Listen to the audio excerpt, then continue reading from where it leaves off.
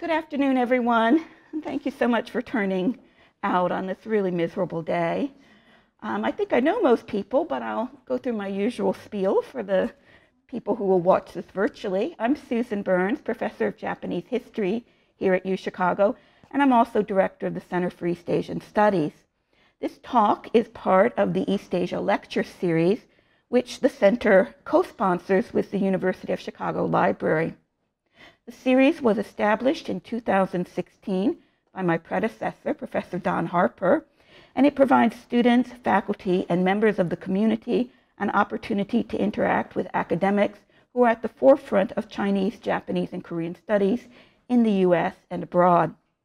CEAS faculty members nominate speakers with the aim of allowing our community to hear about new and exciting research in their fields. May 15th 2022, fast approaching, will mark the 50th anniversary of the reversion of Okinawa to Japanese governance. To commemorate the occasion, this year the Japan Committee at the Center for East Asian Studies arranged a series of performances and talks that reflect on the ongoing legacies of Okinawa's remarkable history, including Imperial Japan's annexation of the islands in 1879, the traumatic memories of the brutal Battle of Okinawa in 1945, the decades of U.S. military occupation and follow, that followed, and the continuing presence of massive American military base in what continues to be Japan's poorest prefecture. Professor Matsumura's talk is the final one in this series. If you're interested in seeing past events uh, related to this and other topics, please take a look at our YouTube channel uh, where we have an archive of uh, videos of our events. I also want to mention that the Japan Society, based in New York, is also doing a series on Okinawa called Okinawa in Focus, which is launching on May 13th. The series engages in a dynamic year long exploration of the archipelago's history and culture. Um, and the Japan Society is presenting a hybrid film series documenting the dynamic uh, historical, political, and cultural spaces of Okinawa around this pivotal moment in history. For more information, please visit the Japan Society's website or visit our social media, uh, which can direct you to more information.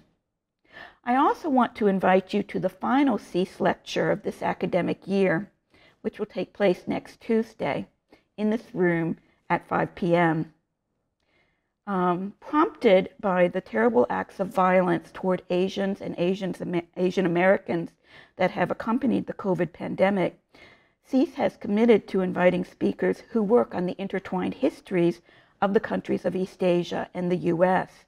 So next week, we will welcome Professor Mae Ngai, now of Columbia University, but formerly one of my colleagues in the history department. Her lecture is entitled The Chinese Question, the gold rushes and global politics, and it will explore the feverish alchemy of race and money that brought Chinese people to the West and reshaped the 19th century world. Now I'm going to turn things over to my colleague, Professor Tom Lamarre of the um, East Asian Languages and Civilizations Department, who will introduce tonight's speaker. Professor Lamarre, uh, as I said, is in EALC and also the Department of Cin Cinema and Media Studies and his research interests are, to put it mildly, expansive. He works on media history and theory, animation and new media, critical race studies, transnational TV, animal studies, science and technology studies, Japanese and continental philosophy, ritual theory and practice, and last but not least, early and medieval Japanese culture. Uh, so I will turn things over to Tom. Okay, so thank you everyone for coming today, and it's really a great pleasure to be able to introduce Wendy Matsumura. It's a very strange thing is that in 2020, in late January, I'd invited uh, Wendy Matsumura to speak at Duke University. It's actually the last in-person event I went to, and this is my first in-person event. So I feel like it's a pleasure in some ways to have Wendy being the two events that flank COVID for me. Um, Wendy is currently an associate professor of history at University of California, San Diego, and many of you may know her first book, published in 2015, called The Limits of Okinawa. This book made a tremendous impact. It won the Paul Sweezy Marxist Sociology Award in 2016. And if you read reviews of it, it's been widely praised for its excellent fit between historical research and methodological reflection, and nothing less than a renewal of economic history. Now, one of the things that impressed me most about her work, and I think she's going to speak in this vein today, is that she completely shifts the locus of subjectivity in relation to economy. In her book, Limits of Okinawa, she really looks at small producers and cultivators and the relation between dead labor and productive labor in the agricultural domain and explores the way in which dead labor functions as an internal limit on capitalism. She's pursued this research in a number of different venues. Um, she wrote an excellent paper called Post War Reconfigurations of US Empire and Global Military Occupation Struggles Against Enclosure in Okinawa, which I highly recommend. And one of the fascinating things about her research is because she brackets questions of nationalism, she's able to connect lived experience at a micro-historical level with larger macro-historical issues across national boundaries. This is very true of the direction of her, of her work as a research in relation to activism. She's constantly publishing work in public-facing outlets like Viewpoint and The Funambulist. And this work is leading to another new project on um, economics, imperialism, and anti-capitalist struggle, in which she looks at Japanese empire again through a Marxist feminist perspective. Uh, the title of this forthcoming book is Waiting for the Cool Moon. So finally, I want to introduce the talk for this evening, which builds on these prior um, essays, and it's called Kindness and Reversion Era Thought in Okinawa. Um, let's give a warm welcome to Professor Wendy Matsumura.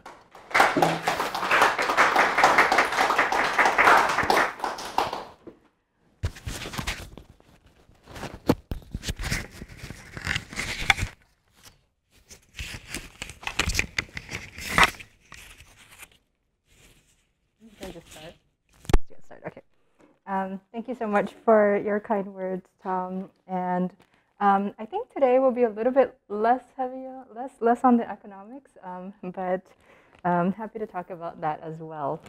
So um, I first want to thank um, the organizers, um, Connie and Michael Bourdaghs, especially for inviting me. And I think, you know, in terms of the way that I was thinking about this talk, I really wanted to see if um, it would be possible at the end of it to have kind of a collective conversation about um, what it means to write and think about Okinawa, um, kind of from where, where we're situated. And um, the thinker that I'm going to really sort of talk about and focus on today provides us with some really important hints about how to do that kind of work. And um, apologies to those of you who are expecting um, a different title or a different talk um, I realized that it was a little bit too much for me to talk about the wartime period, neocolonialism, reversion, and like all of these big things. And where I settled on um, was to really sort of think about um, the way that a particular thinker really sort of grappled with the question of kindness. And I think that that um, attracted me a lot, um, especially today um, like in this time because it feels like so much of kind of um, the way that many of us kind of relate to each other are is, is sort of like lacking um, that kind of kindness. So I wanted to sort of think through this this question a little bit. Okay, so I will get started. So I want to talk about what it means to think about Okinawa's reversion from where I am um, taking major hits from, hints from Okinawan thinkers, uh, Okamoto Keitoku in particular, who addressed this very question um, as they faced the reality of reversion in 1972. What I hope you'll notice is that while these thinkers reflected on what reversion would mean for their own lives and for the lives of the people of Okinawa, they were extremely critical of the way that Japanese intellectuals and politicians spoke for Okinawa as if their interests were one and the same. This is not an objection that's unique to 1972. I think critiques like this existed in the pre-war period, um, which is the focus of my first book, They exist today and will likely continue to be voiced as long as Japan's relationship to Okinawa remains colonial.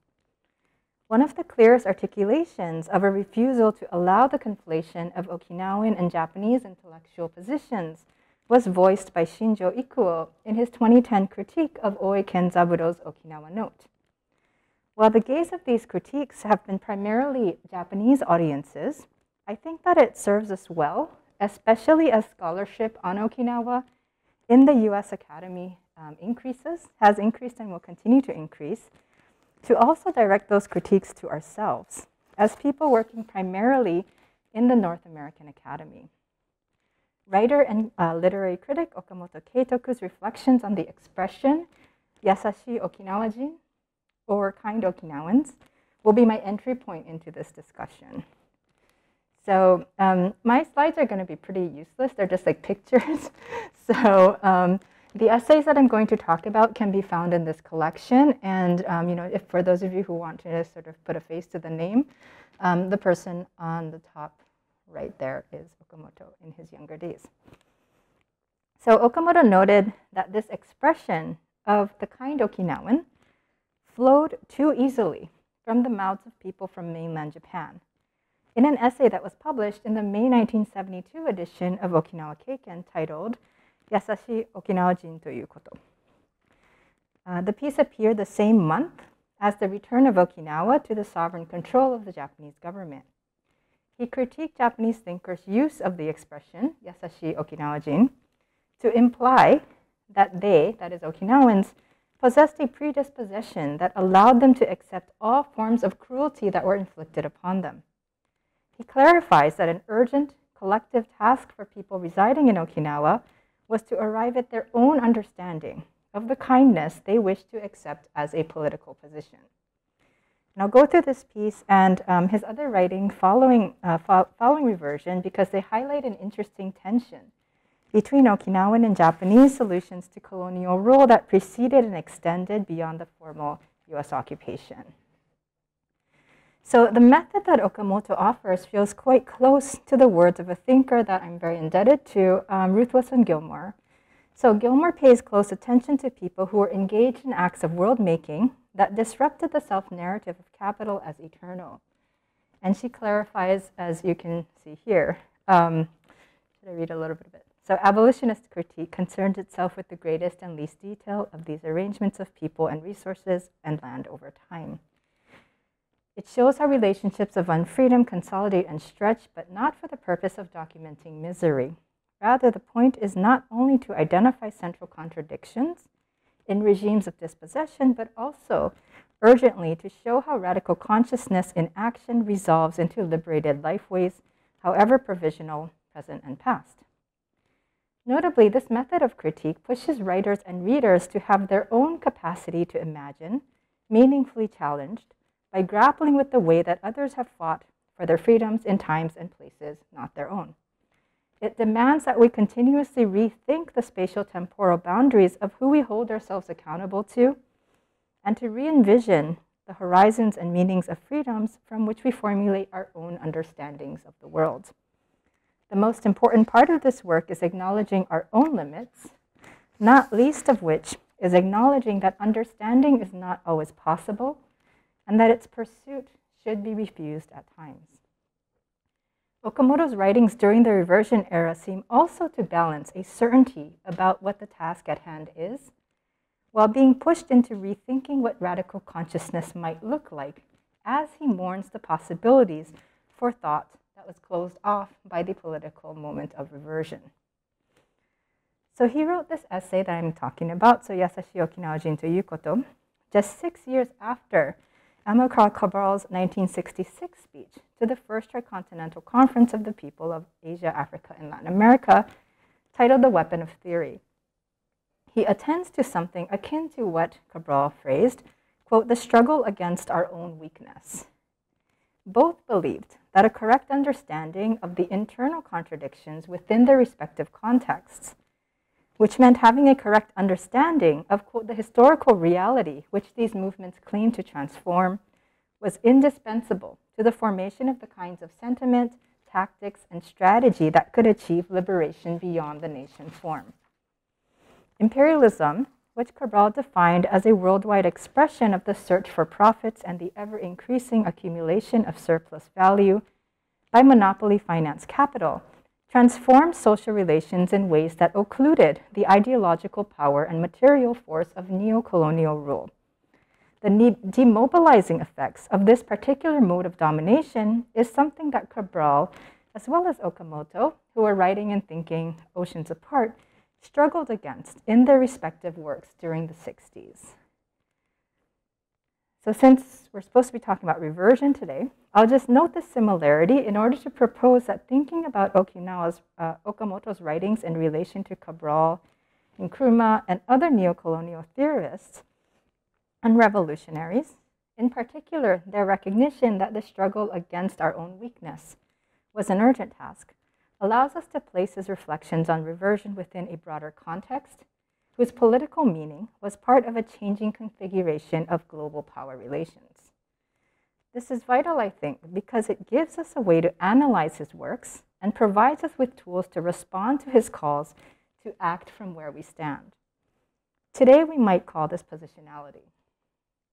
It's particularly important as scholars, I think, um, who write and think about Okinawa from the United States to recognize our own complicities in the production of knowledge that can legitimate or render invisible in imperialism today, even as we write about and think about the so-called past.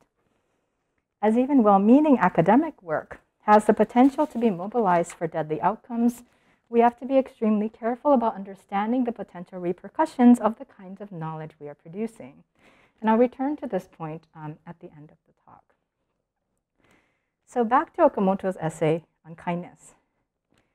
What motivated this piece and much of his thinking during the 1970s or the early 1970s was an incident that took place during the start of a general strike whose immediate goal was to stop the ratification of the reversion agreement by the US Senate. Planned for November 10, 1971, this was the first general strike that followed the disappointment that accompanied an earlier failed strike um, called off by um, the GRI executive Yara Chobyo that had been scheduled for February 1969. The 1969 one had been organized to protest the continued use of B-52 bombers following the widely publicized crash at Kadena Air Base on November 19th of the previous year. Both were significant because they followed a period of over a decade when this kind of mass mobilization had taken a back seat, sort of in, in their telling, to actions designed to bring about reversion to Japanese sovereignty.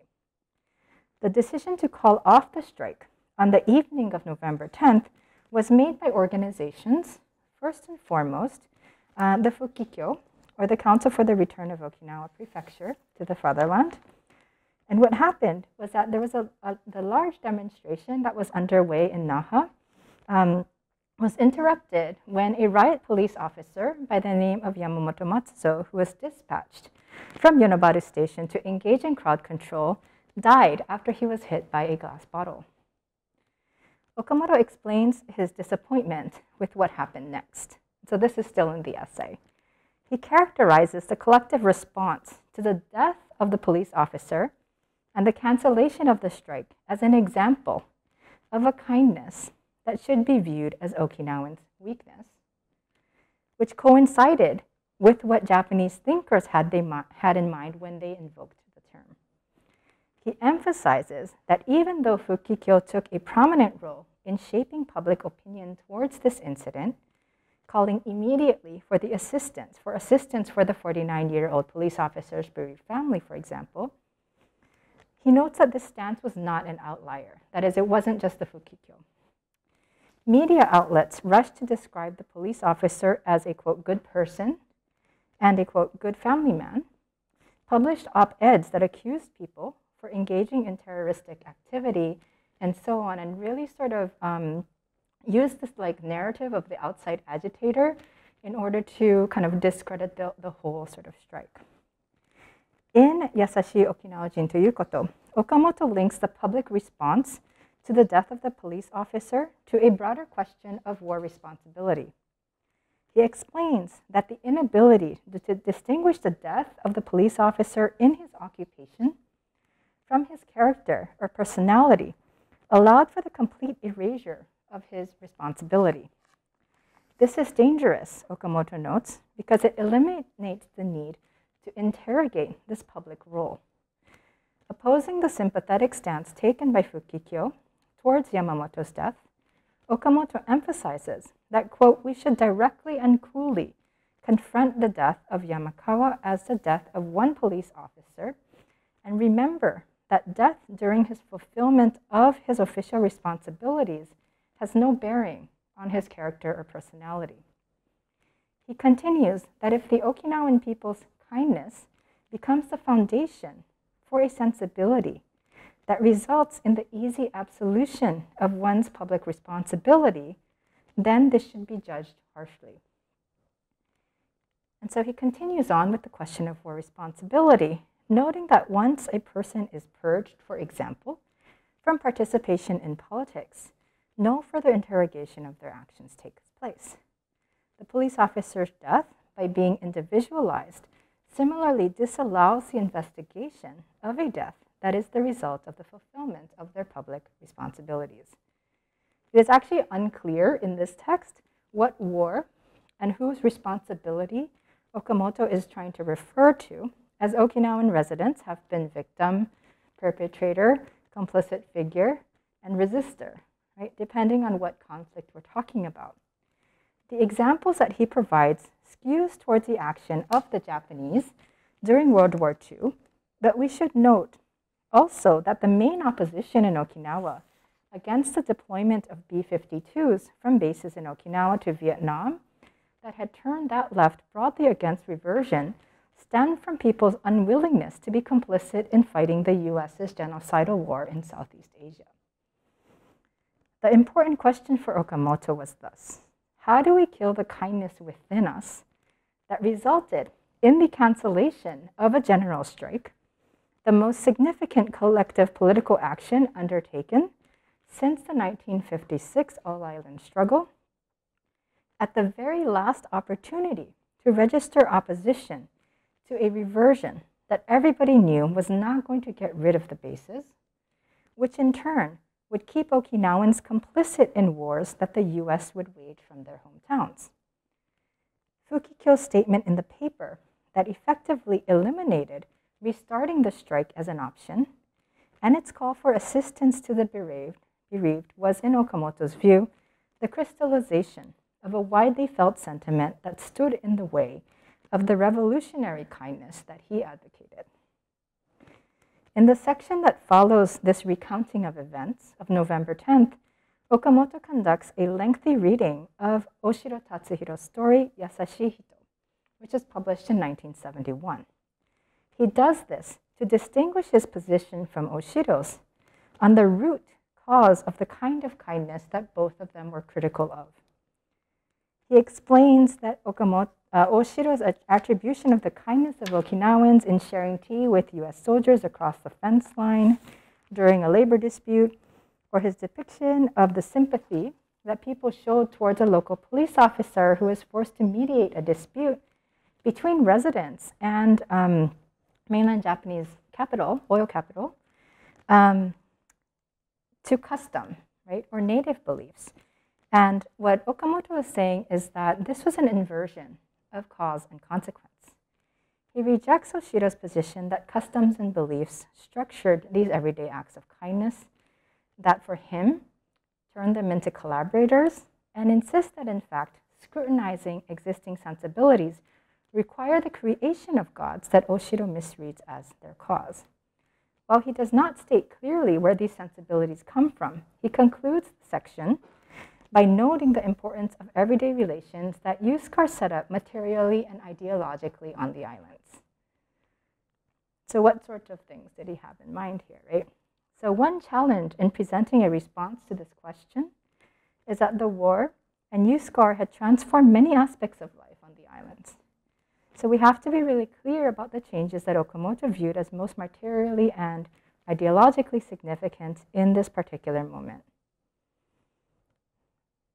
I actually can't see the time. Okay. Um, so bringing Okamoto in conversation with Cabral again is useful for situating this conversation within a set of interconnected political projects. So back to weapon of theory. So here, Cabral identifies two forms of imperialist domination that have to be distinguished because each, quote, differentially impact the social structure and historical processes of our peoples. Direct domination and indirect domination. He explains that indirect domination, quote, by a political power made up mainly or completely of native agents, is called neocolonialism. He says, quote, this imperialist action takes the form of creating a local bourgeoisie or pseudo-bourgeoisie controlled by the ruling class of the dominating country. The key role that police officers play in both Oshiro and Okamoto's writings as figures that sort of blur the line, right, between um, kind of colonized or dominated and um, collaborators suggests that they see this position as exemplifying the neo-colonial mode of domination that USCAR relied upon in Okinawa, even as the overall mode of domination was colonial. USCAR documents confirm the calculated nature of this strategy on policing. And so I'm not going to read this whole thing, um, but basically, um, there's a section um, titled Forces, Missions, and Operations that lays out the personnel, right, um, of all members of military service on Okinawa and their dependents in an appendix 2 called Okinawa Summary of Overall Presentation to the Subcommittee on U.S. Security Agreements and Commitments Abroad, and so on, um, which was submitted to the Committee on Foreign Relations of the U.S. Senate in 1970. And this document lays out the various police forces operating in Okinawa at the time, including their numbers. And what is notable here, I think, um, is the way that um, sort of um, USCAR is, it lays out basically kind of USCAR's general thinking on policing. And the document states we are acutely conscious of the political ramifications both here and in Japan of using United States forces personnel to control Okinawans. Therefore, the present concept of controlling crowds and civil dis disturbances establishes the government of the Ryukyu Islands, so the GRI civilian force, as the first line of defense. In these situations, backed up by local national security guards, followed by military police increments, and lastly, the military task force all maximizing the use of portable barriers for use at installation gates. It continues, quote, this concept capitalizes on maximum possible contact between Ryukyuans in the crowd and Ryukyuan police and security guards to minimize the risk of confrontation between Ryukyuans in the crowd and members of the U.S. Armed Forces. Of course, it reassures um, you know, the government that if things get too out of control, then U.S. military force support can be requested.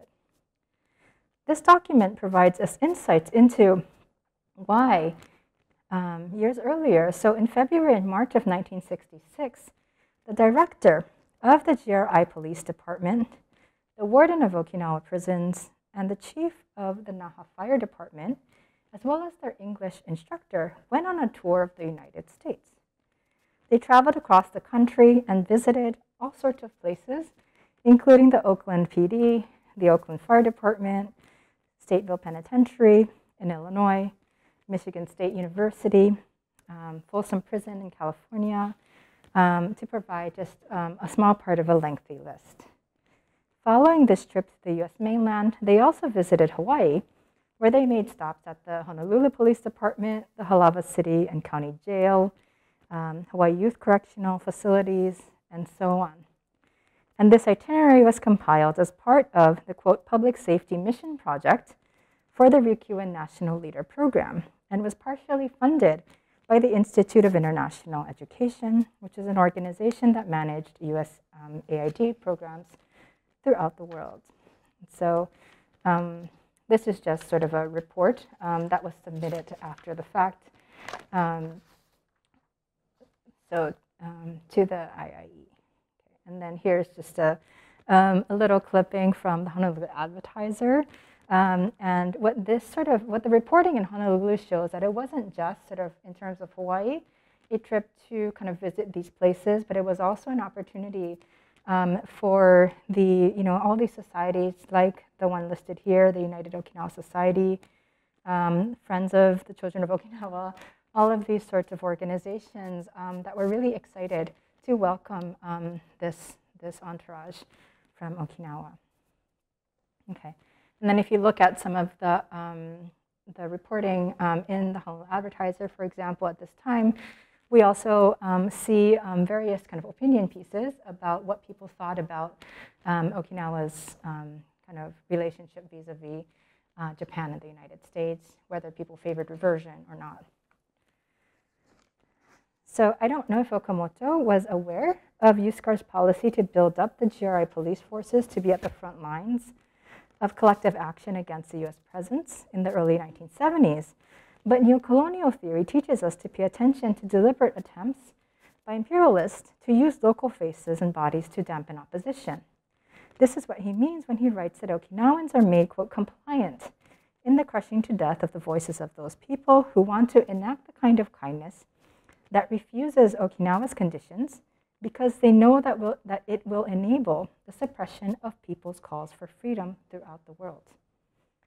Okamoto's understanding of collective struggle did not change dramatically after reversion, but reflected the added complexity that the elimination of this sort of residual sovereignty um, brought to their uh, concrete political struggles. So, put simply, the entry of Japanese capital and ideology positioned as a return of Okinawa to the quote, right track of history, made it necessary to be even more clear about the internal weaknesses that Okinawans would have to overcome. And Okamoto writes about post reversion era politics in an essay called Okinawa um, Shiseiken Henkan Sonogo in the March 1973 edition of Shiso no Kagaku. That is also um, published in, in that edited collection. November 10, 1971 continues to figure centrally to his thinking here. He begins his essay in Naha, in the place he stood alongside everyone to protest the Senate's ratification of reversion. And then he pulls us back from that scene to his present, where he is completely disoriented. Naha has become unrecognizable to him. It has been transformed, he writes, by an invisible force that manifests in the changing landscape of the city. A department store that recently underwent expansion, a noticeable increase in the number of supermarkets owned by Japanese capital, the ubiquity of Tokyo style storefronts, all signal to him the degree to which mainland capital has flowed into the island since reversion. This, he explains, has produced a somewhat different feel and odor in Naha from the one that USCAR and US capital created through no less violent um, maneuvers of their own during the occupation period. Okamoto's sense of unease here is not about downplaying the violence of that period. Instead, he wants his readers to understand that far from a joyous reunification, ongoing processes of dispossession, exploitation, and alienation gave local residents like himself an acute sense of dislocation. They had lost their bearings in a city that they had gotten to know intimately through work, through struggle, through play, and through devastation. And he gives voice to a sense of lost connection with one another.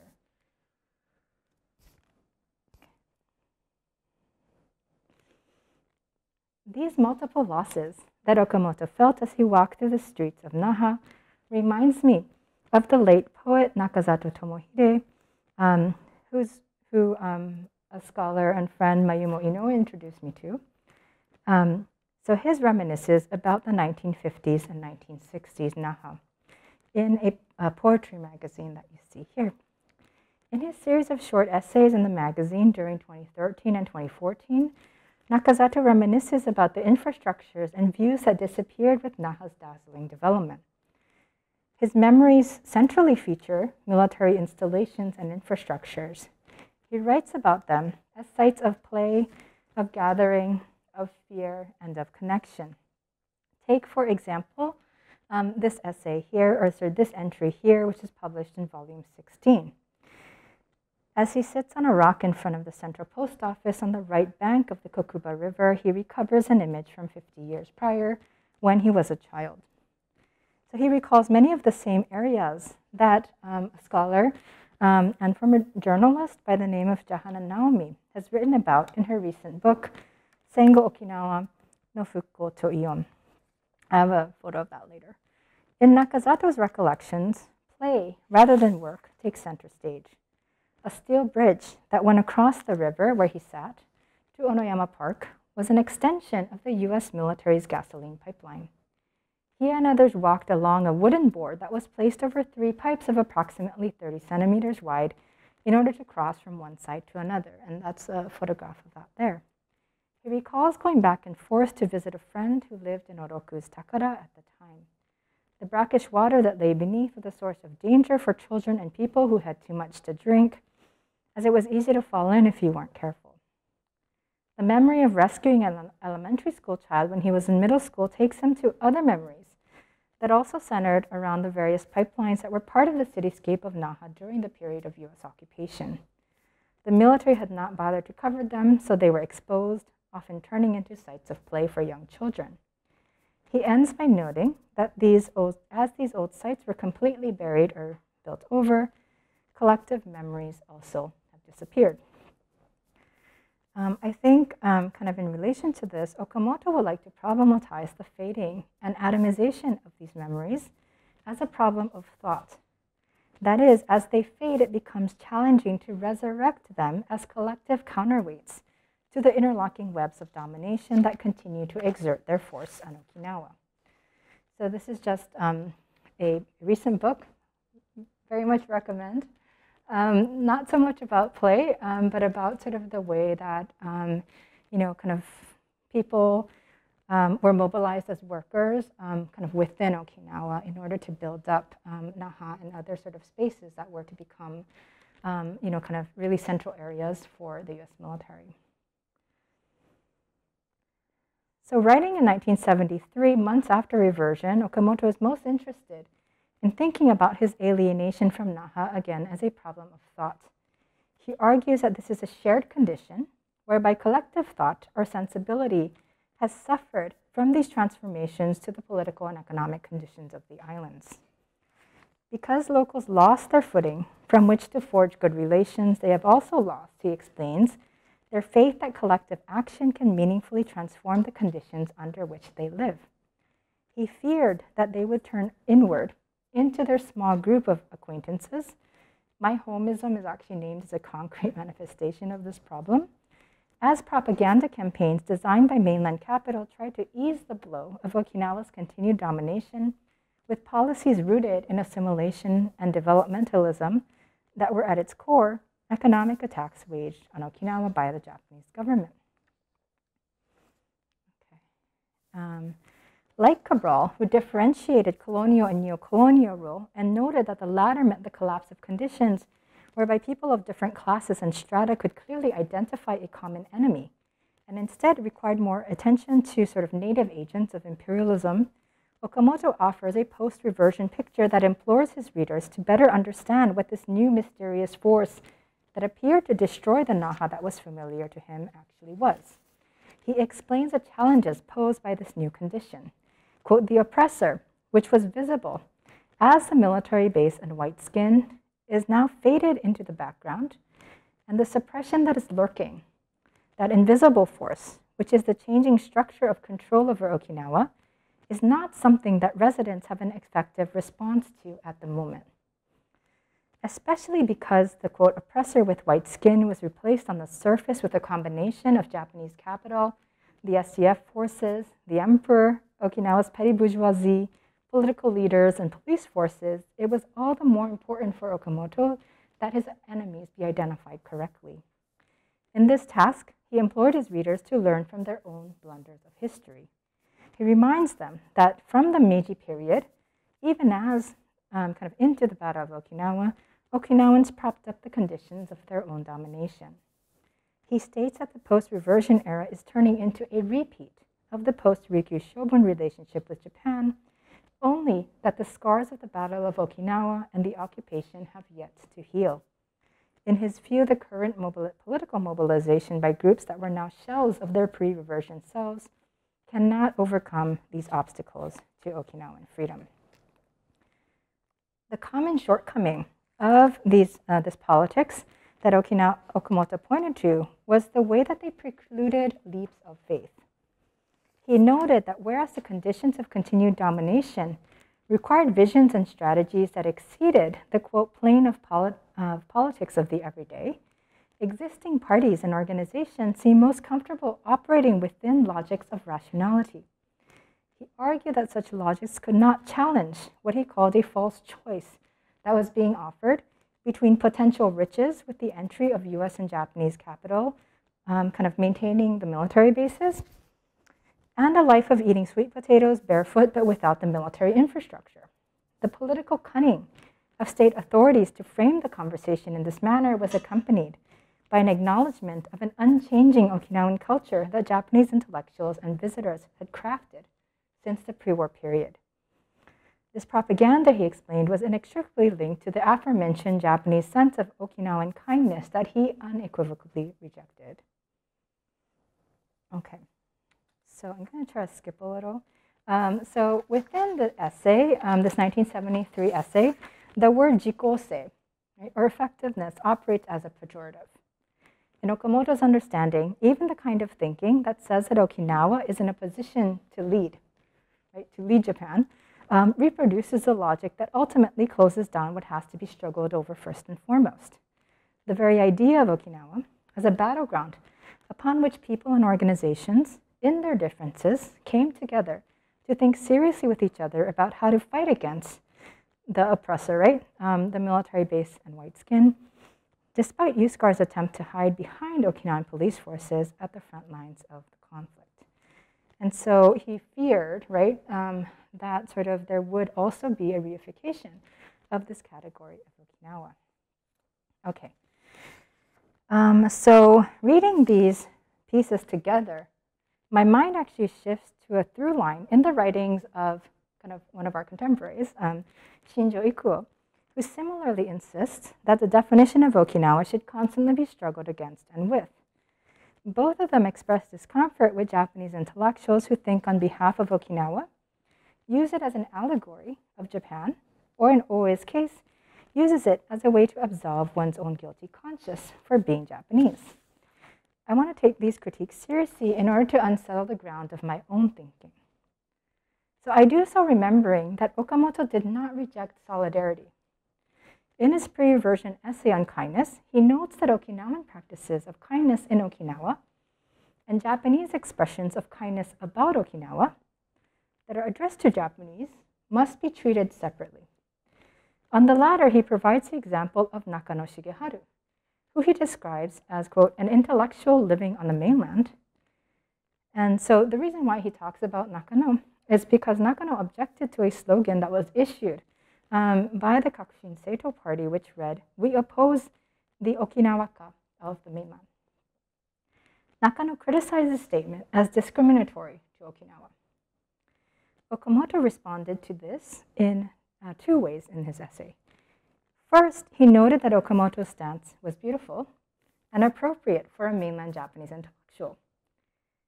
He then says that the Kakushin Seito slogan is actually a correct stance for people living in Okinawa to take. The kindness that he's interested in opposes the transfer of burdens, Okinawa's burdens, onto others. And so for him, you know, if that were a slogan that were sort of uttered in, in Okinawa, and then that would be appropriate. This on Nakano brings us back to the importance of being clear about the ground from which we engage in critique. So I want to take this warning, which is also an invitation to think about solidarity as someone who has two distinct connections to Okinawa. So the first is as, a, um, as the granddaughter of a woman um, who I was very distant to growing up, um, who was born in 1905 in Okinawa, who came to Honolulu sometime before 1929, and as far as I know, did not return to her homeland again. So all I have, and I feel kind of bad doing this, but like all I have is kind of like her immigration file from an FBI file. long story, right? So, what does my connection to my grandmother, who I lived with but never really knew, mean in terms of how I engage in, with Okinawa on different terms than when my engagement was mostly academic? So, book one, right? What does it mean to be accountable to a people who are similarly thinking about Okinawa and Okinawa of their grandparents and their great grandparents who also never had the chance to speak with them directly about their hometowns and who may feel estranged from this place, Okinawa. What kind of politics is possible or afforded an opportunity to commence during this time of reflection of the meaning of the 50th anniversary of reversion? Here, I think about Okinawa's insistence that the term kindness need not be rejected, but might be used as a vehicle to insist that what it needs to, to look like depends on where we are situated right now. He vehemently denied that there was one correct answer for Okinawa, but rather that it depended on who you were in community with. And so the common ethic for him was that one's stance should be aimed at inflicting the least possible harm to others. So I still haven't quite figured out this familial connection yet. Um, so I'll turn to a second connection that I have to Okinawa, which is a little bit more sort of e easier for me to talk about um, which I'm guessing is shared by many of you here. So, you know, we, we're here today, right? Like sharing space in this very privileged um, and violence base of the US University, which is known for inventing the tools through which to enact colonial rule over places like Okinawa. What leaps of faith might we conjure together, occasioned by our meeting here to reflect upon reversion? What are the limits of this kind of thinking and dreaming? What kind of thinking and practice praxis is necessary to be able to connect with others who are thinking from within their own communities about how Okinawan freedom is bound up with their own.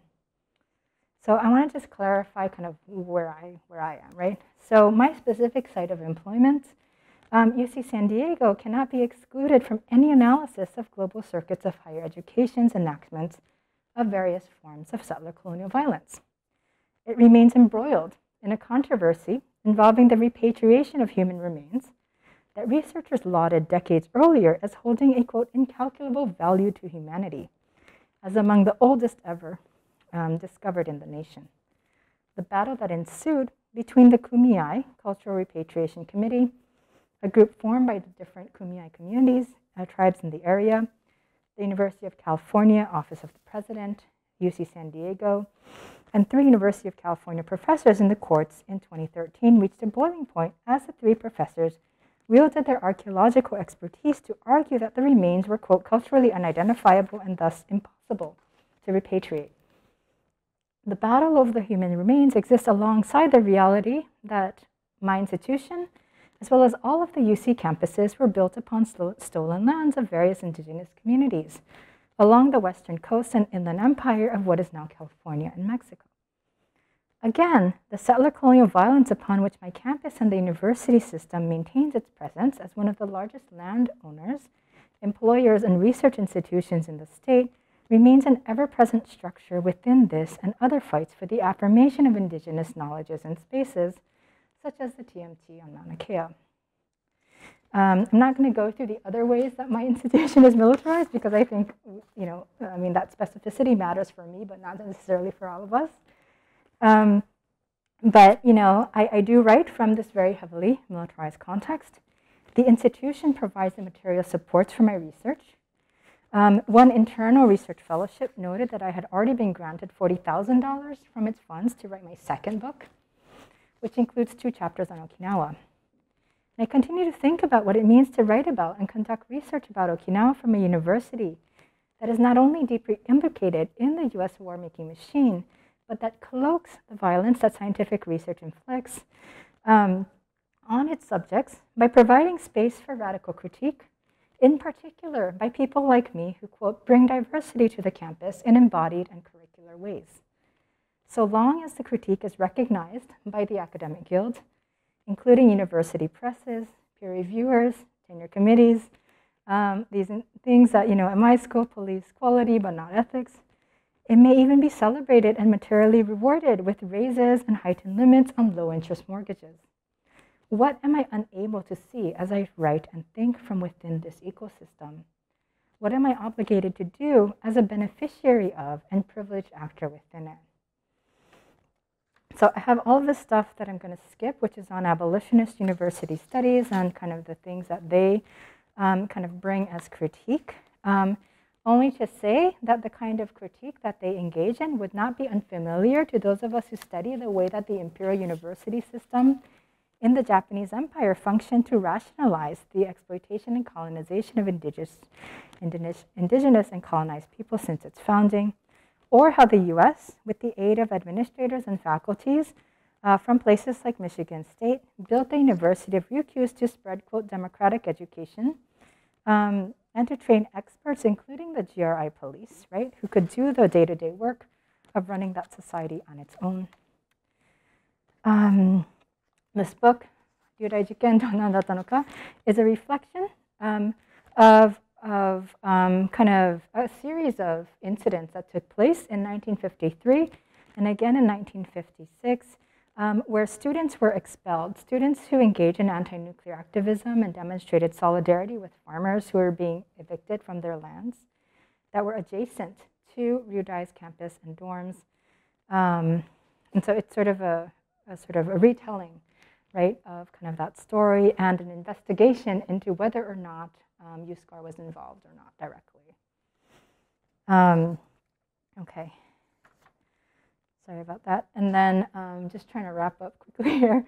Um, and then um, what I do later is I sort of say that, you know, um, there are actually a lot of work, right? A lot of kinds of works um, that people who write about Okinawa and write about post-war Okinawa in particular um, have done in order to unearth the counter memories of people who've been buried in these dominant histories and narratives, who have resisted the dominant world making projects and have created alternatives. And in fact, some might say that this is a dominant form of research, research on Okinawa outside of its Japanese studies boundaries, especially as it's written by interdisciplinary scholars of Okinawa. And so I just want to note um, they're, they're here on the, on the um, on the PowerPoint, um, but a couple of examples of this kind of work um, that I think is really, really important. Um, as for myself, I'm currently finishing up this one project and trying to figure out if I have another book in me. Um, what I can say is that I'm very interested in learning more about critiques, which were tied to questions of freedoms that thinkers like Okamoto made and continue to make. Um, I think I'm going to also try to learn more about my own family and think more carefully about what someone like my grandmother must have gone through, marrying into a family that, as far as I can tell, was pretty nationalist. And there's a reason why there's an FBI file of my grandfather, right? Um, he was under FBI surveillance for his alleged sympathies to Japan. Um, how all of this played out, right, in a small place like Honolulu, in relation to dynamics between Okinawan and Japanese communities is a really interesting sort of topic, but I don't know if I want to write about it. Um, and I'm happy to um, conclude here and to talk a little bit, talk about any of this more. But I would really be interested if we could think together about um, collective conversations that we might have about the kind of ethical research practices we might begin to talk about as North American-based scholars writing and thinking about Okinawa. How does thinking about Okinawa from where we stand transform the spatial temporal boundaries of who we hold ourselves accountable to? What leaps of faith does this kind of collective practice of kindness necessitate? So I'll end here. Thank you so much for listening. Sorry it was so long.